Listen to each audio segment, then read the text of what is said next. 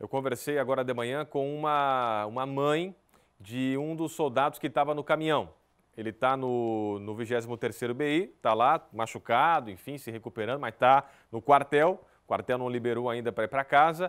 E a mãe, ela até conversou com o filho ontem no Hospital Santo Antônio. E ele contou para ela como pode ter acontecido um acidente, uma possível causa para o acidente. Você vai acompanhar agora aqui a reportagem do Balanço Geral. A gente esteve lá na rua Belmiro Cousani para tentar saber como é que está o local do acidente. Não deixaram a gente subir. A imprensa não está podendo subir. Acompanhe aqui a matéria agora. Balança para mim.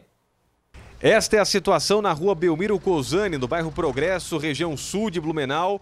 Pouco mais de 24 horas depois do acidente, na manhã desta quarta, envolvendo o caminhão do 23º Batalhão de Infantaria, que resultou na morte de três soldados e com 38 militares feridos. O Exército bloqueou, nesse ponto da, da rua Belmiro Cosani, a passagem da imprensa.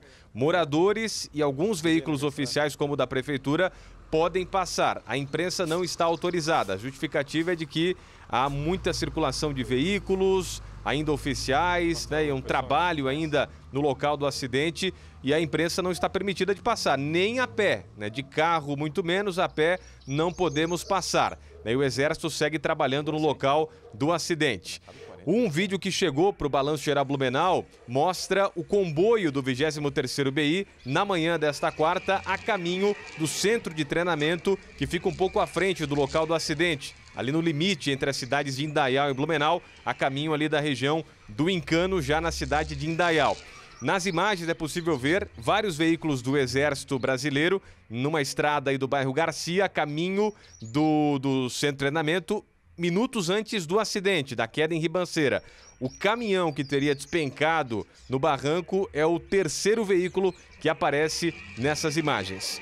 A aflição dos familiares, dos envolvidos né, com os militares que estavam ali, principalmente dos parentes né, de amigos também. Agora, nesta quinta-feira, já é um pouco menor. A gente está na casa da Mineia, que é moradora aqui do bairro Passo Manso, em Blumenau. O filho dela, o Fernando, que é recruta do 23º BI, estava nesse caminhão. Você já conversou com ele ontem no hospital, ontem foi isso, Mineia? É, eu estava no hospital ontem e vi ele, né? Tá, já estava todo machucado, tudo, mas está bem, né? É, tinha outros mais feridos lá, mas ele falou comigo, mãe, eu tô bem.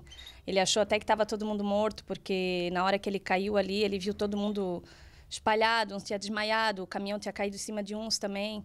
Mas, assim, foi uma coisa bem traumatizante, assim, foi muito triste de ver, sabe? Como é que foi o acidente, Minéia? O que que o teu filho te disse sobre como é que aconteceu a queda? Como é que o caminhão foi parar na ribanceira? Assim, o caminhão estava subindo, daí eles estavam tudo cantando, feliz, né, que ia fazer o treinamento lá em cima.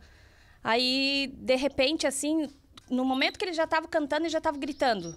Já desesperado, já, né, ali, caminhão rolando ali, eles diz, parece que eles se abraçaram, no meio ali se abraçaram entre eles, né, para se proteger.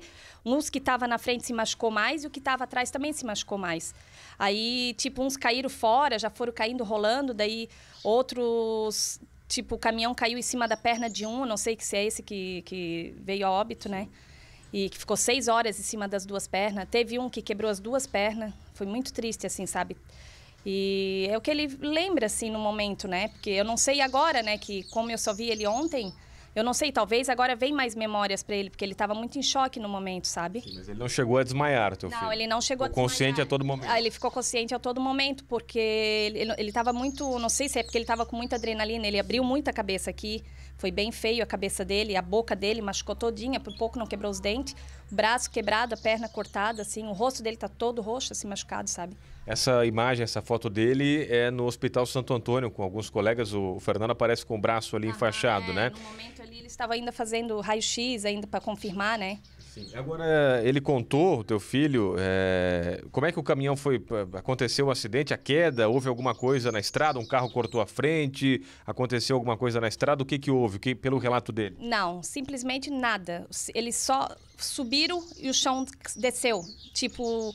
Tá, parecia assim um barro assim que tu coloca mole assim, sabe? Ele simplesmente estava ali o chão É, desse, estrada? É, a estrada, é a estrada. A rua pode ter cedido? Sim, a rua cedeu do lado do mato, né? No, no caso, do lado da, do barranco, é, do barranco cedeu para baixo, assim. Não houve nenhum outro não. veículo, a princípio, que cortou a frente, alguma não, coisa assim? Pelo que ele falou ali, não, né? Que parece que também a estrada é o mesmo estreito, do mesmo tanto do caminhão ali, né? O que é tamanho do caminhão é o tamanho da estrada. É, o tamanho da estrada, não tem como outro passar de, do lado, assim. Sim.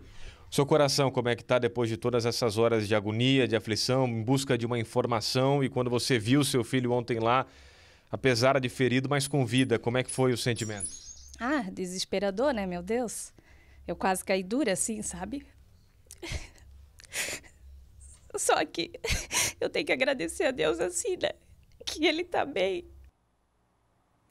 Força aí para a Mineia, graças a Deus o Fernando está bem, muitos estão bem né, já hoje, então agora vão se recuperando e a gente torce ainda para aqueles que estão hospitalizados aí se recuperarem o quanto antes né, e a força aí para os familiares que perderam, infelizmente, aí esses três é, jovens né, nesse acidente aí gravíssimo.